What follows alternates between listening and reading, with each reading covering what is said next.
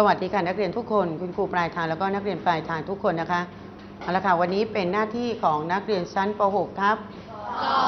ทับ2นะคะก่อนอื่นวางปากกาก่อนค่ะทั้งต้นทางแล้วก็ปลายทาง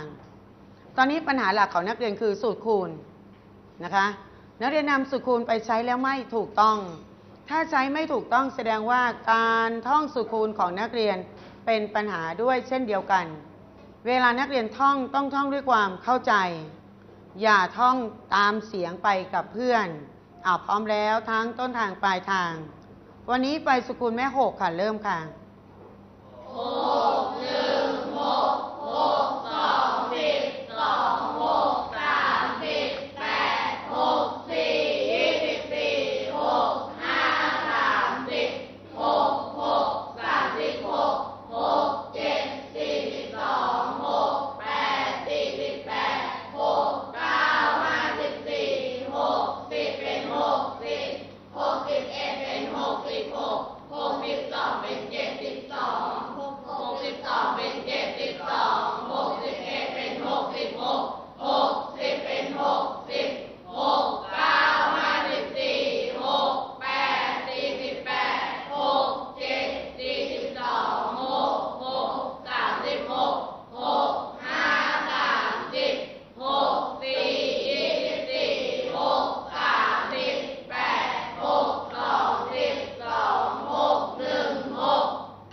ดีนะคะ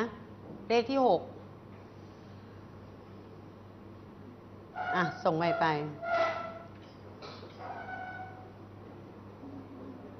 นักเรียนจะไม่ทราบล่วงหน้า ดังนั้นนักเรียนต้องมีการเตรียมตัวตลอดเวลา บางวันครูก็เรียก บางวันก็ไม่เรียก ไม่หกค่ะหกหนึ่งหกหกสองสิบสองหกสามสิบแปดหกสี่ยี่สิบสี่หกห้าสามสิบหกหกสามสิบหกหกเจ็ดสี่สิบสองหกแปดสี่แปดหกเก้าห้าสิบสี่หกสิบเป็นหกสิบ หกสิบเอ็ดเป็นหกสิบหกหกสิบสองเป็นเจ็ดสิบสองหกสิบสองเป็นเจ็ดสิบสองหกสิบเอ็ดเป็นหกสิบหกหกสิบเป็นหกสิบหกเก้าห้าสิบสี่หกเจ็ดสี่สิบแปดหกเดี๋ยวเดี๋ยวหกเก้าห้าสิบสี่หกแปดสี่สิบแปดหกเจ็ดสี่สองหกหกสามสิบหกหกห้าสามสิบหกสี่สิบแปดเอ้ยหกสี่ยี่สิบสี่หกสามสิบแปดหกสองสิบสองหกหนึ่งหก อะปรบมือให้ อ่าวันนี้เพื่อนโดนเราไม่โดน ครั้งต่อไปเราโดนเพื่อนอาจจะไม่โดน ดังนั้นนักเรียนต้องมีการเตรียมตัวตลอด หยิบสมุดคณิตคิดสนุกขึ้นมา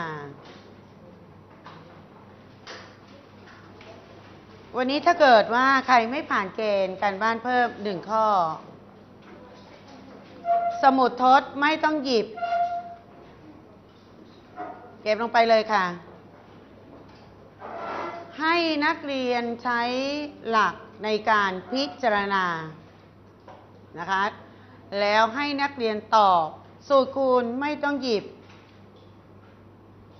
ไม้บรรทัดพยายามอย่าซื้อที่มีสูตรคูณอ่าพร้อมยัง พร้อมแล้วข้อที่หนึ่งมีความซื่อสัตย์ต่อตนเอง ไม่แอบดูคำตอบของเพื่อน ข้อที่หนึ่งค่ะ ให้นักเรียนเติมเครื่องหมายมากกว่า น้อยกว่า หรือเท่ากับนะคะ โดยให้นักเรียนพิจารณาดู เปรียบเทียบดู ไม่ต้องไปคิดนะคะ ไม่ต้องไปทดในสมุด ไม่ใช่ว่าไม่ต้องคิดมันต้องคิด แต่หมายความว่าไม่ต้องไปทดลงในสมุดทด ข้อที่ 1 0.5 คูณ 0.7 เปรียบเทียบกับ 0.5 คูณ 0.3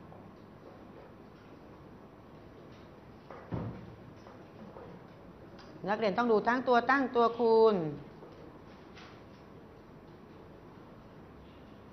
ถ้าตัวตั้งเท่ากันไปดูที่ตัวคูณตัวคูณด้านบนเป็นอย่างไรกว่าด้านล่างนะคะ ต้องไม่น้อยกว่า 7 ข้อที่ 2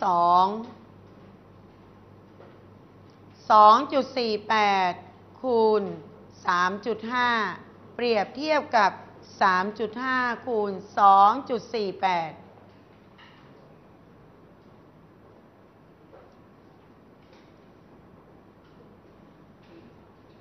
ความรู้ที่ได้รับพยายามนำมาใช้ให้หมด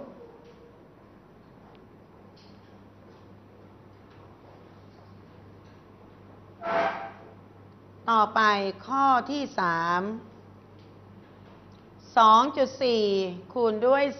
3.7 เปรียบเทียบกับ 4.2 คูณด้วย 3.7 พอนักเรียนมองปั๊บ เอ๊ะ ข้อนี้ตัวคูณเท่ากัน ถ้าตัวคูณเท่ากันเราก็ไปมองที่ตัวตั้ง ตัวตั้งด้านบนกับด้านล่างเป็นอย่างไรกัน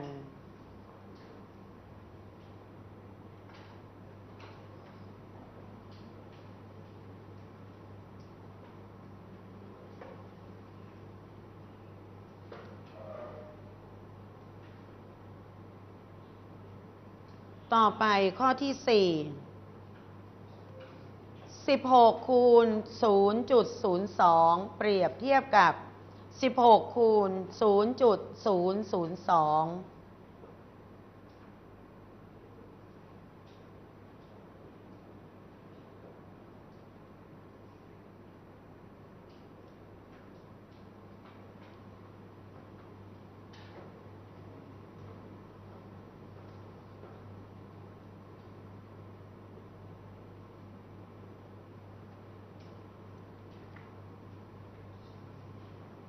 ต่อไปข้อที่ 5 6.8 คูณด้วย 10 เปรียบเทียบกับ 0.68 คูณด้วย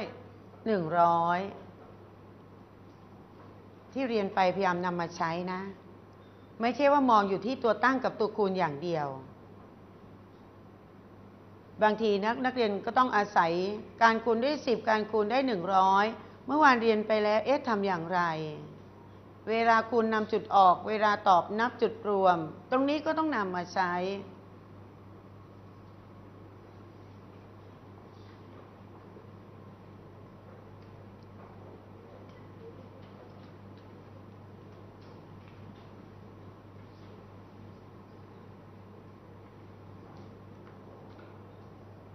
ต่อไปข้อที่ 6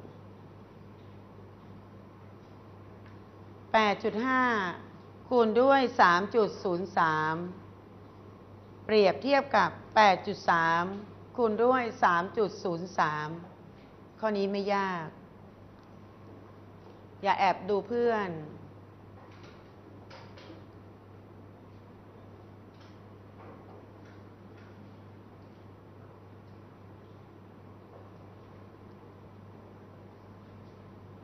ต่อไป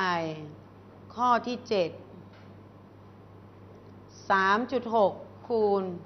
4 เปรียบเทียบกับ 36 คูณ 0.4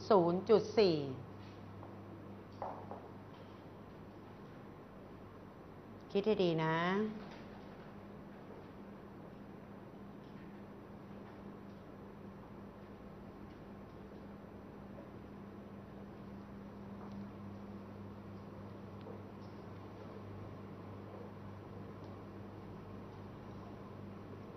ต่อไป ข้อที่ 8 0.12 คูณกับ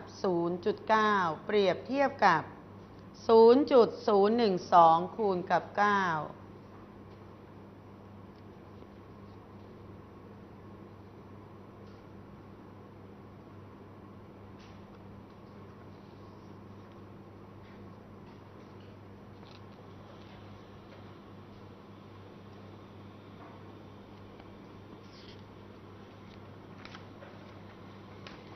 ต่อไปข้อที่ 9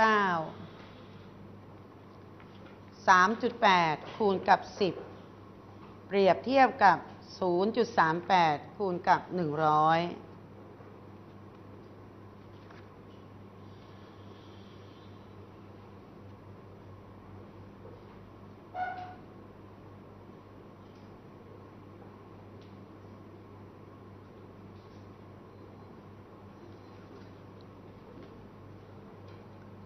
ข้อสุดท้าย 100 คูณกับ 0.357 เปรียบเทียบกับ 3.57 คูณด้วย 100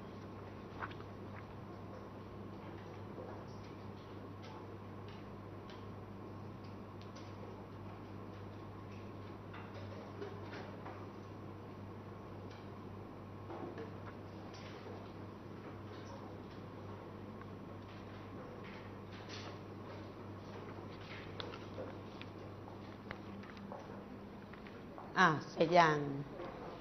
เสร็จแล้วเปลี่ยนสมุดกัน ข้างเคียงเลย เขียนชื่อผู้ตรวจไว้ ซื่อสัตย์ต่อตนเองแล้วก็เพื่อน บารมีเปลี่ยนยัง เปลี่ยนแล้วนะคะ เอาละค่ะ ผ่านมาครูคุณครูคิดว่านักเรียนหลายคนไม่เข้าใจ แต่เดี๋ยวเวลาครูเสริมอธิบายเสริมให้ นักเรียนจะได้นำไปใช้ในครั้งต่อไป ข้อที่หนึ่งอะดูนะคะฟังด้วย 0.5 คูณ 0.7 เปรียบเทียบกับ 0.5 คูณ 0.3 ข้อนี้ตัวตั้งเป็นอย่างไร ตัวตั้งเป็นอย่างไร ถ้าตัวตั้งเท่ากันไปดูที่ตัวคูณ ตัวคูณด้านบน 0.7 เป็นอย่างไร